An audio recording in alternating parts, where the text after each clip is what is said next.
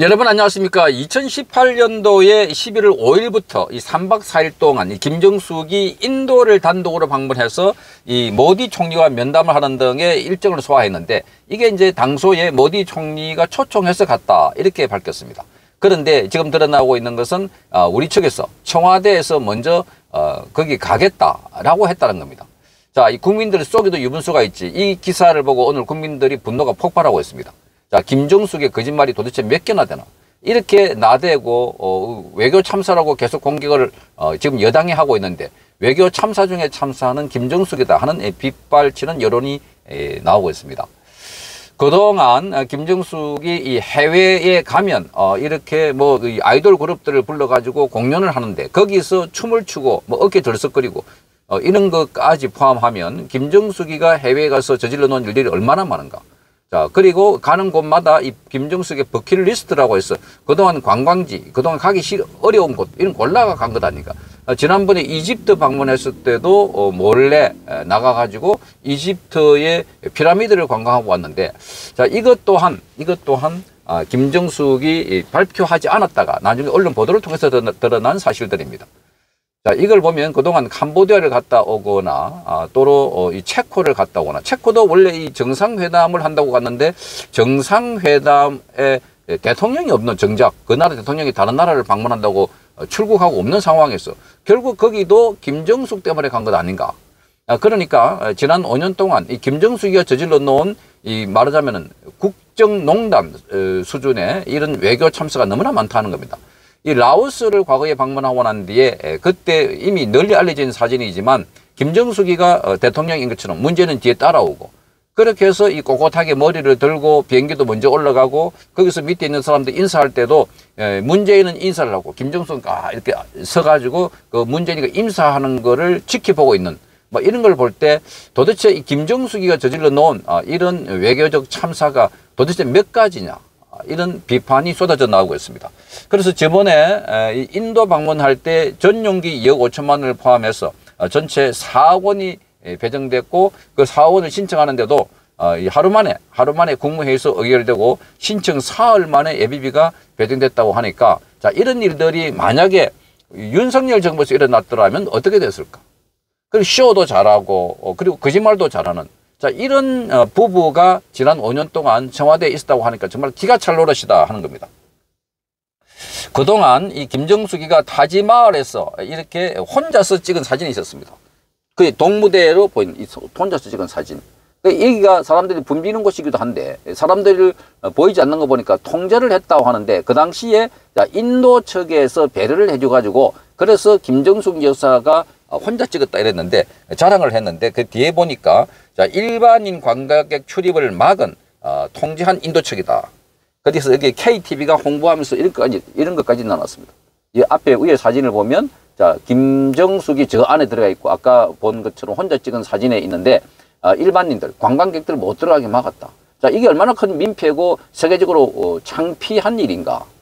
자 이런 일들을 벌인 이 김정숙 이 김정숙을 보면 정말로 어, 우리 상식적으로 납득이 안 되는 어, 그런 일들입니다. 그러니까 댓글에 보면 지금 김정숙의 비판한 글들이 어, 폭주하고 있습니다. 폭주. 자, 이 자들은 거짓말 DNA를 타고난 것 같아. 어, 거짓말을 너무 잘한다는 겁니다. 거짓말 DNA를 타고났다. 이게 바로 국정농단이다. 어, 아마 어, 김건희가 했거나 또는 박근혜가 했더라면 전라도가 무장폭동을 일으켰을 것이다. 이런 글도 있습니다. 자, 그 이 문재인이 인권 변호사인 척 사기를 치더니 이젠 국민들에게 사기를 치고 있다. 자, 국민들에게. 그러니까 어떻게 이런 거짓말을 할 수 있다는 겁니다. 어떻게.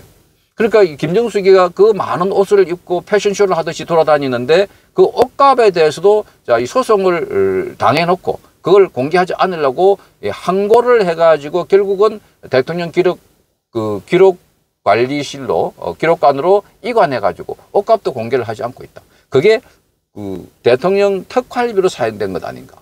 그러니까 김정숙이 한 말들을 보면은 거짓말이 워낙 많기 때문에 지난번에 이 양산에 이, 이, 그, 그 전에 진해 있던 집을 팔고 평산 마을로 이사 가기 전에 자, 김정숙이가 지인으로부터 11억을 빌렸다 했습니다.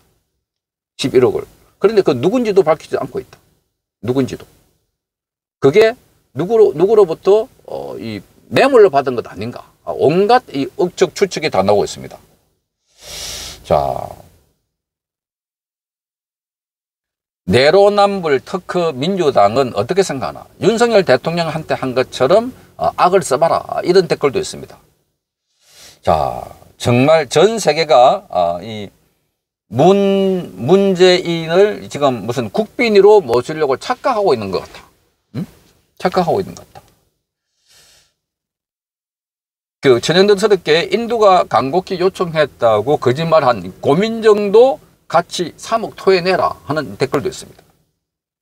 그리고 정수기한테 4억 원 돌려받아라. 국가자산 전용기를 지들 마음대로 사적으로 사용하고 요거 처벌돼야 된다. 이 처벌하라는 어, 요구가 빗발치고 있습니다.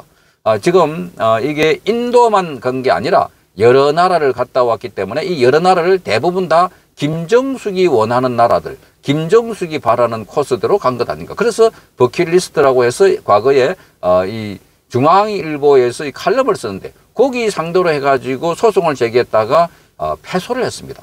그런데 그거 중앙일보가 아, 이 인도 측의 요청에 따라서 간 게 아니라 여기 어, 본인이 원해서 가는 것 아닌가 그런 게 있는 게 그, 그렇게 기사를 썼는데 그거 어, 그 가짜 뉴스라고 소송까지 제기한 걸 보면은 너무나 어, 천연덕스럽다는 겁니다.